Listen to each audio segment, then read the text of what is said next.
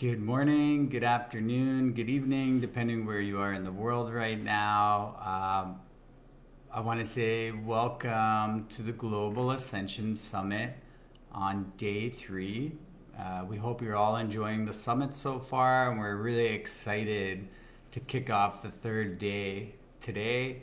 Once you jump on, just just let us know you're here. Say hello. Um, my name is Richard Melchizedek. I'm an ascension guide, a mentor, a light language DNA activator, and also founder or co-founder of the Starseed School. And I'm here with my amazing sacred partner. Hi everyone, I'm Jessica Rosalie. I'm so honored to be here and I'm so excited to bring an activation for you all today. And I'm so grateful to Catherine for organizing all of this. Yeah, and we invite you to check out starseedchangingtheworld.com and therainbowgoddess.com as well as our YouTube channels or our Facebook groups. Um, and I just really want to invite you all to just take a moment. Hi, Kara. Hi, Yvonne. And hi, Saffron. Hi, Tim. Tim, I'm glad you found this through my YouTube channel. And I just want to uh, honor all of you into this, this moment as we start to speak about sacred relationships.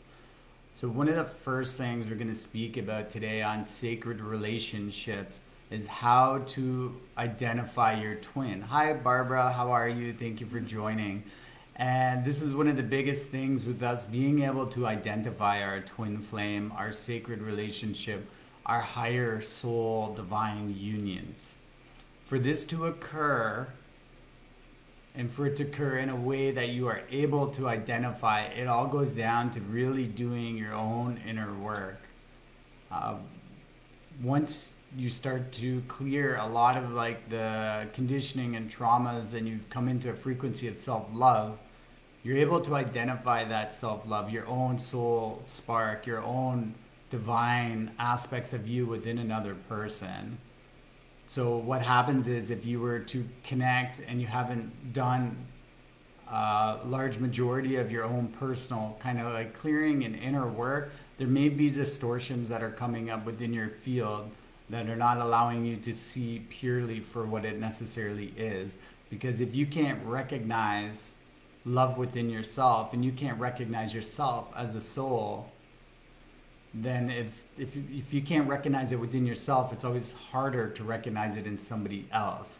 So it's that level of honoring within yourself, and once you have reached that level of honor and sacredness in yourself, that union from within yourself it's easier for you to recognize your sacred partner. So it's symptoms. This is something we get asked about all of the time. And once you start connecting with your twin flame or your sacred union, there's a lot of physical, emotional, uh, mental, and spiritual symptoms that start to occur. And this can be from um, having dreams with the, the sacred partner coming into dreams, uh, speaking to you on a higher self level. You can start going through a merging process in the higher self before you've even come together. So for myself and with Jessica, this started for me like close to I want to say, you know, it was a, quite a long time ago where there was a higher self level communication before we were able to figure out and put all the pieces together on a physical level physical symptoms are you can feel like a level of euphoria through your body, your chakra systems light up, and you come into a level of like pure bliss. And it's so overwhelming, this level of feeling of like home uh, where it'll trigger your emotions. It will make you want to cry almost instantaneously at the beauty you're recognizing in the other person because it's like looking at yourself and recognizing yourself almost for the first time as well and feeling that down like deeply to your core resonance and when that person recognizes you back it's like the first time you've ever been seen in your life, like you feel home. So and through this process, like there's lots of physical sensations, emotional sensations, etheric sensations that start to occur. You and then through this, we start to go through merging of our bodies. Like you go through a merging of the mental body, so a lot of thoughts come up, um, and then you go through a merging of the emotional body, so a lot of emotions come up, and then you go through a merging of the spiritual bodies, and then this is when we start getting into like the different levels of sacred unions. Yeah, and I just really want to add to that that this journey, the twin flame journey, it's really first about your own discovery of like who you are as a soul. So it really isn't about like finding your other half that mm. completes you. I feel like that's like a misconception that we see in the media that this person is going to make me whole. I think we make each other better, we amplify what's already within us. But really, I feel like before you meet your sacred partner or your twin flame, there's like a, a preparation period that you go through.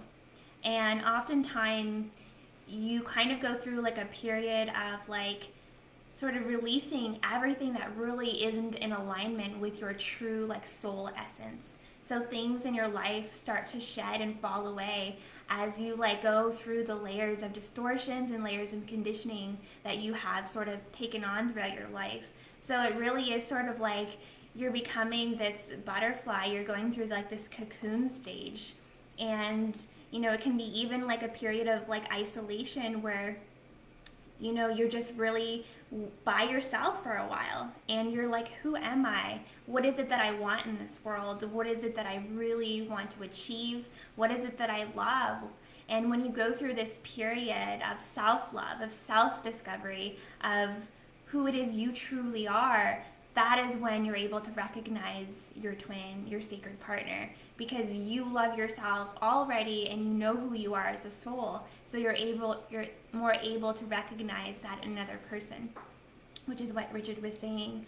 But it's just, it's really such a beautiful process and it's empowering you know, the relationship in itself isn't meant to take away from anything. It's really meant to put you onto your highest path, as well as to amplify your gifts, your abilities, and to really make you stronger as a person. It's like two amazing people coming together with the same love and the same mission and the same desires to help humanity grow and change and saying, hey, let's do this together and really being there to support one another. And what's really beautiful about the journey is that, you know, you each possess your own gifts and abilities that make you you. You, like, I am still my own person and I possess all of the things that make me me and Richard has his own unique gifts and abilities that make him him. And when we come together, it really is like the perfect complement to that energy. It really is like the merging of like the embodied divine masculine and divine feminine. And part of the stages of coming together is at first there's that like literally like heaven on earth. I've been searching for you, that peace that I've been looking for, like you're here. And you go through that like phase where you feel like your own like you're in your own like little bubble and mm. you kind of forget about the world for a while as it takes time to like adjust to like the higher frequencies and the the amount of unconditional love that can be shared between you and your sacred partner it's just the absolute it's like the most beautiful experience um, that i've ever experienced and it truly is like you don't really understand it until you experience it so I think our next point, we'll just quickly touch base on codependency and expectations on relationships. So one of the things that we have learned through our own uh, realization and methods is the less expectations and attachments you can put on each other during the evolution of a relationship is the more the relationship is able to grow, develop, into something pure and something sacred. There's a we've been kind of conditioned or programmed to say I'm going to do this and uh, but I expect you to do this. and we put a level of expectations on our partnerships right from the beginning. This is where I see us being in a year. This is where I see us being in five years. Where what it's really about is showing up for your partner and being in full service to your partner, full service to yourself, and allowing that to kind of like come through in the most natural way and being honest with yourself. Am I putting expectations and attachments on my partner of what I expect them to be like? Mm-hmm. Because ideally, the two of you want to be able to grow individually and grow together. And when you grow together and grow individually, you start to blossom into a highly conscious uh, relationship that has so much deep spiritual, emotional, physical meaning to it. And of all, I would say a very high level of emotional intelligence which is also a key aspect of being able to navigate the twin flame sacred union journey. Uh, so, codependency, expectations, one of the main things to really watch of what we're placing on each other. Do you want to explain surviving and thriving in the twin flame experience? Yeah, so I feel like it's very very much like ascension it mirrors ascension your relationship in some ways where some days you're in that euphoric amazing bubble of just love but we all know that you know we can't always maintain that because we have to continue to release and let go of things that are no longer aligned with us and so you know we go through periods within our relationship where we're you know, releasing old wounds, old patterns. And some days it's like you're really feeling that sort of con- contracted state within your union that you're like, so much is coming up because literally when you're in this relationship, the other person assists you and supports you and also pulls out of you anything that is not aligned for your highest. So it really is about growth. And it really is about embodying the highest version of yourself. And something that I have truly learned so far on this experience is that really taking accountability for your own energy and realizing that your partner is really just mirroring back to you what it is that's within you, any emotions that are coming up that you personally need to deal with.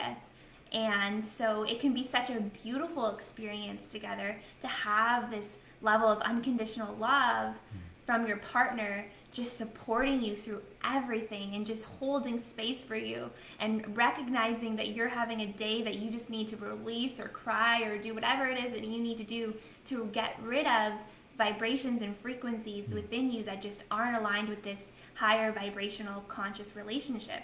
And you know in some ways less um, awakened individuals, if they meet their twins, they may just start having conflict with one another because they don't understand what is really occurring. Mm-hmm. And it's not that this person is causing this pain, it's actually that they're helping you to see it so that you can release it and let go of it. So it really is about just embodying the highest and best version of yourself. And once you can identify this, you can start to celebrate your victories and you can celebrate the days when you're like, hey, you know, remember yesterday? You know, I was going through so much, and then today, literally, it's like you're back in that euphoric state, and it's sometimes can be like, what is even happening? But you know it's for your highest because as soon as you come out of that contracted state, you feel like a level of love and expansion that you've never felt before. So it really is truly like you're just clearing so much within your heart to make room for them. So every time something comes up for you that makes you sad or depressed or you feel grief, it really is just clearing out the space within you so that you can love your partner and hold even more love for them, which is, when you think about it that way, so beautiful and so worth going through all of these ups and downs and roller coasters that we often experience in our relationships. Yeah, and just to touch base a little more on that, uh, emotional intelligence is one of the biggest keys to being able to navigate through like the twin flame experience and having that level of emotional communication with each other and that understanding. um, if you do not have an emotional maturity and you are going through a twin flame experience, it will be a very highly charged and a lot of confusion and not really understanding why things are occurring or happening. So this is why a lot, most of the time, twin flame unions come through once we are more awakened.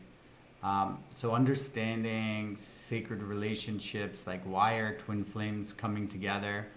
the reason twin flames are coming together, especially, you know, what I call ascension twins, is we're coming together like during this time of ascension to anchor unity consciousness.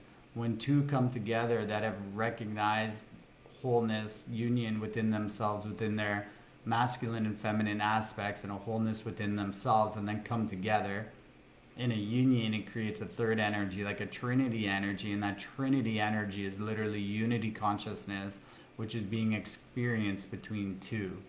So by us having that like third energy present and anchoring that in, it's doing a very powerful, um, powerful role for ascension for all of uh, everybody on earth right now. So anyone that's in a sacred union or twin flame experience is know the level of purity and ability to be able to really make a difference just by holding your energy and by holding your relationships and understanding how sacred that is and this experience is sacred is not everybody gets to go through a twin flame journey so if you are on a twin flame journey or you are experiencing one or want one to come in for you you know it really has to have the whole process treated as sacred all along. So that's when we really have to look at everything we do and how.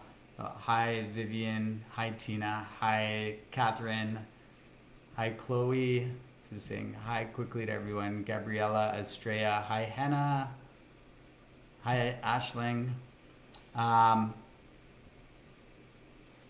so, you want to? Yeah. So it it really is about honoring the journey, honoring the process, and recognizing how sacred it is because it's important that you really hold that level of honor for your partner because what you're doing is so powerful and you want to make sure that you maintain that sacredness within your union so that you can anchor in this higher frequency energy. You know and like i said that doesn't mean you're not going to have your ups and downs but it's about you know honoring that person and and showing that love and knowing that you know you have someone beside you who supports you and loves you and wants to be there to truly empower you and also bring in this beautiful sacred mission that you both have. And i think that's mm-hmm. the one thing that is maybe not as talked about as much within twin flame unions is that yes, there's this beautiful, undeniable love, but truly what brought most or what brings most twins together is this shared desire to help change the world, to truly anchor in New Earth, to truly be the best versions of themselves so that they can help others and serve and just bring in so much love and so much light. Hmm. And so you know you've met your twin when literally you feel like your desires and dreams are aligned.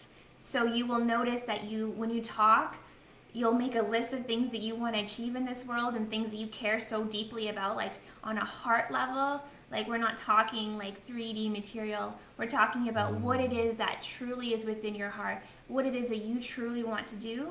And that's why it takes a level of knowing yourself, right? So once you unveil what it is that your your mission is, what it is that you want to do, then you two can come together and you can begin to make this into reality.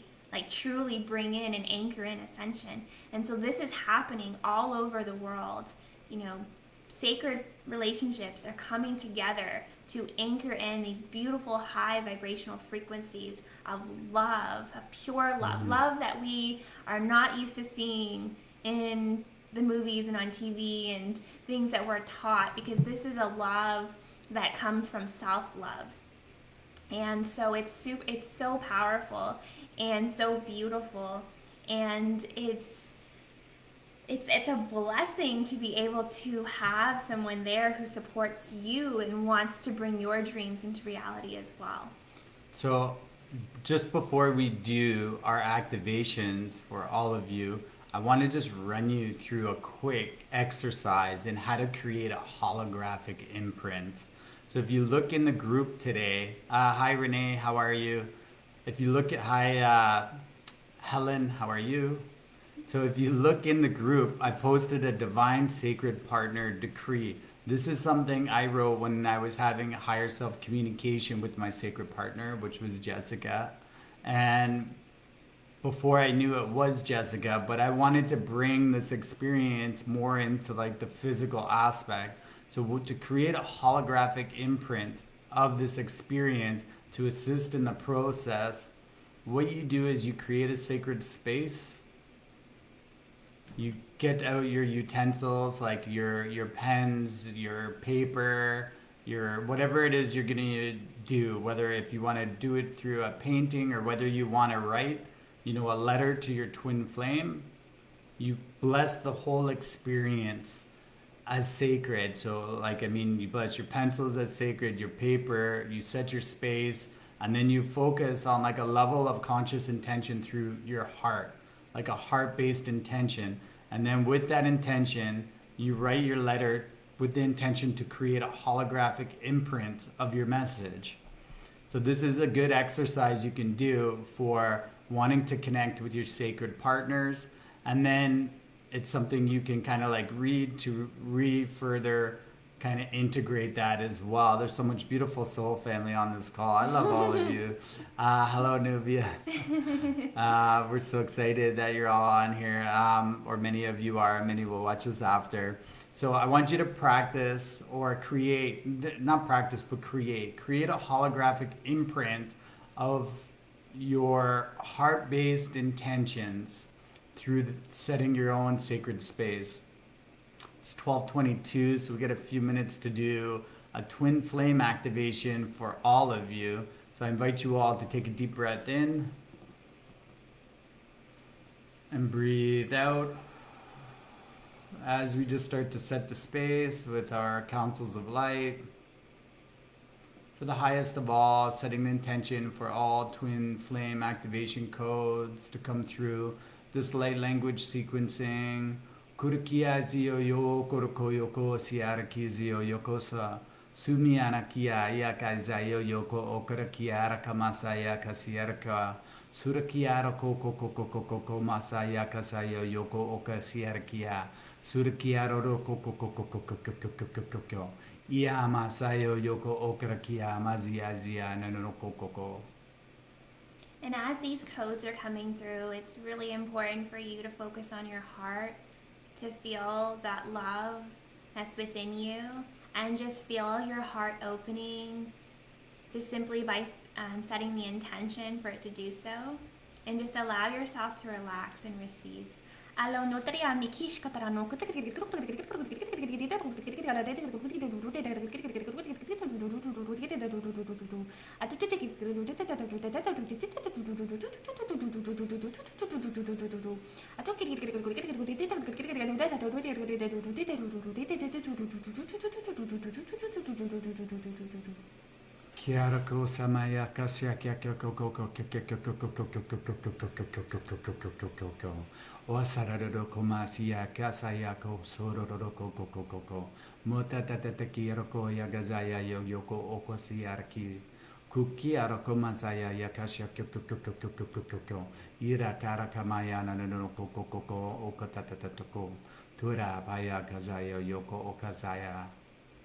αλλά νοιάμα καί ασκία το λαμότρι και σκιάνα καί νίκη τριονούτριας καταρνικής καταρανότου του του αλωνότι αμαλανακούτε κιακό και σκομού αλωνόιαμα καί ακιακού ανούτρια ματρής κιακό τριονούκα μικής καταρενού λανόια ματιακά Una mo kalan kis katromo triama kies kiaku, amo triama tiaka, U la noteja ska tara moka le kiski kiki a kuku kuku ku.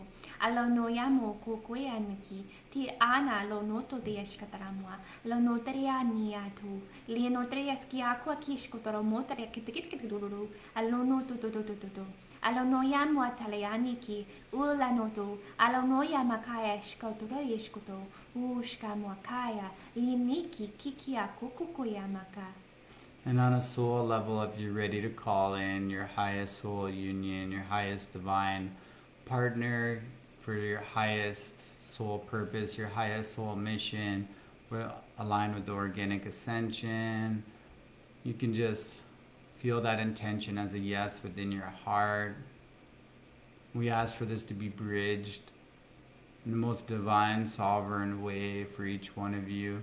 kurkizi oko saya ya kasa yo yoko okoroko Yokumasia, Requisia, Tuaya, Yayoko, Okarakia, rororoko kokoko koma si Surikia, Paya, Papatatoko, Mazaio, soro ka fa Yakatatokofosia, Kakakaka, Kosia, Kakokokokokokokokokokokoko, Uya, Yakazoi, no, no, no, no, Kokokokokokoko, Itiata, Kamazoyo, Orarara, Kisia, Kia, Kamazaya, Kazai, Utiti kosa akazayo yoko shokokoko.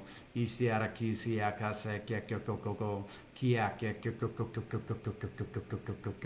Watatatatakasayo yoko. And just setting the intention that everyone listening today begins to truly feel the love that they are, to feel their divinity, to feel that wholeness and beauty that you carry within, to really truly amplify who you are as a God sovereign creator being, and for you to acknowledge that you have such a beautiful divine mission here and purpose with so much to offer and share with the world.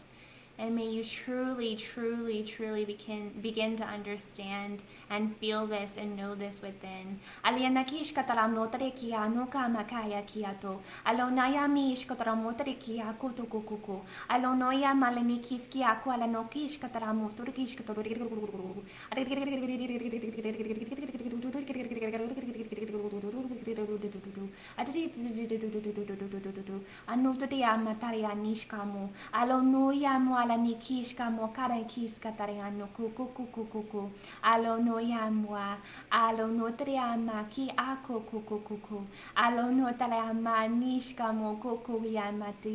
and just calling this love to unfold within us by stating, I am love. I am rainbow light, I am love, I am rainbow light. I am love, I am rainbow light. I am love, I am rainbow light. Uh, we honor each one of you as we bring all of these codes through and integrating in the highest divine way for you now. Yoko okoroko yoko.